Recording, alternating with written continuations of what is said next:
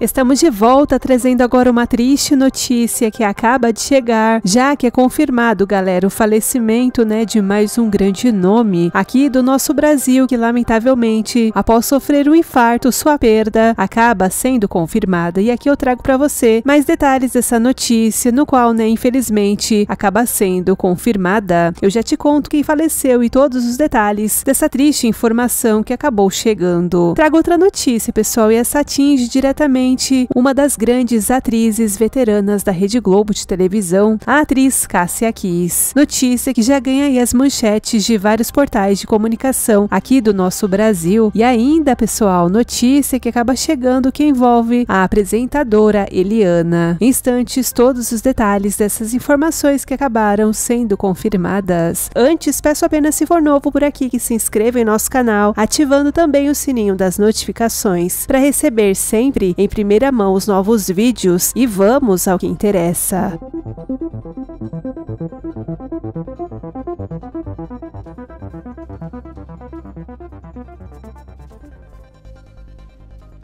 Pois bem, pessoal, vamos iniciar trazendo essa informação que envolve uma das grandes apresentadoras da nossa televisão brasileira, a apresentadora Eliana, que tá aí, né, gente, prestes a encerrar sua jornada na emissora de Silvio Santos. Após mais de 15 anos de parceria, a gente sabe que recentemente ela anunciou oficialmente a sua saída da emissora, que deve ocorrer, né, no finalzinho deste mês. E aí, né, gente, chega agora informações que vem repercutindo que envolve o nome aí da comunicadora e que vem, claro, dividindo opiniões. Prestes a encerrar sua jornada no SBT, Eliana não conseguiu conter as lágrimas ao iniciar, galera, sua despedida da emissora. Isso ocorreu após as palavras profundamente emocionantes proferidas pela renomada cantora Fernanda Brum, que destacou, né, o futuro incerto de Eliana, que ainda não revelou seus planos para pós-julho. Durante o programa, Fernanda Brum surpreendeu a apresentação apresentadora com um depoimento emocionante e inspirador. Ao falar, né, sobre a saída de Eliana e Fernanda, gente, enfatizou que a escolha de seguir com Deus é o caminho certo. Olha só o que ela disse, abre aspas. Eliana, querida, eu tenho tanta história com você aqui. Abriu minha vida para o Brasil. Fez tantas homenagens para mim. É um dia especial, então quero dizer que assim como Abraão escolheu sair da terra dele para ir para uma terra desconhecida, para onde a gente escolhe andar, seja na família, em casa ou em todas as áreas da nossa vida, se a gente andar com Deus, damos o passo certo. Por isso quero agradecer, porque sempre fui respeitada. Nunca saí daqui com o coração triste. Falou Fernanda Brum, que logo em seguida, né, acabou dando um abraço em Eliana, que ficou bastante emocionada e acabou respondendo o seguinte, abre aspas: "Eu sei que esse mês será de despedida e você sempre estará no meu coração." Falou Eliana visivelmente em lágrimas agradecendo, né, pelas palavras de apoio durante justamente essa transição de carreira. Rumores sobre uma possível ida de Eliana para Globo vem circulando na web nesses últimos dias. Todavia, vale ressaltar que a apresentadora ainda, né, não confirmou qualquer tipo de negociação. Porém, como muita gente sabe, surgiram vários boatos, né, vários rumores de que Eliana supostamente pode futuramente substituir Ana Maria Braga. Esses rumores começaram a circular ainda no mês passado, quando foi divulgado que Ana Maria Braga pode se aposentar e Eliana, né, pode assim assumir algum programa na TV Globo. Inclusive, também surgiram aí rumores que Eliana pode assumir um programa diário em 2025 na grade da programação da emissora carioca. Porém, por enquanto, né, nada oficialmente foi divulgado. E até o momento não há nenhuma oficialização sobre se ela realmente vai fechar, vai assinar algum tipo de contrato com a Rede Globo, mas se você acha que Eliana fará falta no SBT, deixe sua opinião aqui nos comentários.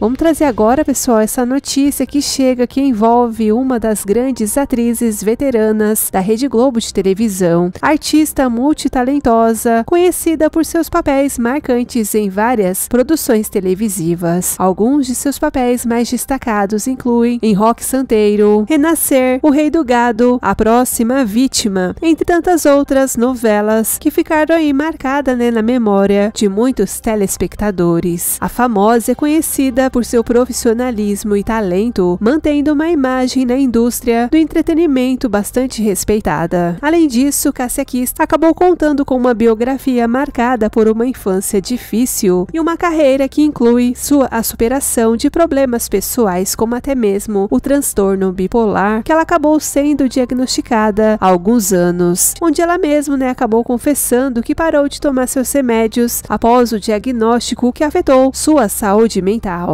A gente sabe, né, a gente lembra que Cassia Kiss também se envolveu em algumas polêmicas com a Globo e também com a política. Ou seja, né, ela se envolveu em uma série de polêmicas nos últimos anos, justamente por conta de seu posicionamento político. Vale ressaltar que, embora contratada pela emissora Globo até o ano que vem, Cássia Kiss está longe dos folhetins desde o ano passado, quando participou de Travessia de Glória Pérez. E naquela ocasião ela anunciou que seria o seu último trabalho na TV. E agora, né, gente, chega uma notícia que repercute, que ganha aí várias manchetes de portais de comunicação que dão conta que envolve justamente o nome dessa grande e talentosa artista. Onde, gente, rumores surgiram de que a atriz estaria supostamente hospedada, né, na instituição Retiro dos Artistas. Essa instituição, localizada em Jacarepaguá, no Rio de Janeiro, recebe artistas veteranos já aposentados e que não possuem condições de se manterem ou viverem sós. Cássia Kiss, galera, acabou sendo atacada por um usuário do Facebook que garantiu que a atriz teria, né, se mudado para o Retiro dos Artistas. Abre aspas, Cássia Kiss se mudou para o Retiro dos Artistas, pobre dos velhinhos que estão por lá, chata. Disparou, gente, um internauta por meio das redes sociais. Porém, gente, a coluna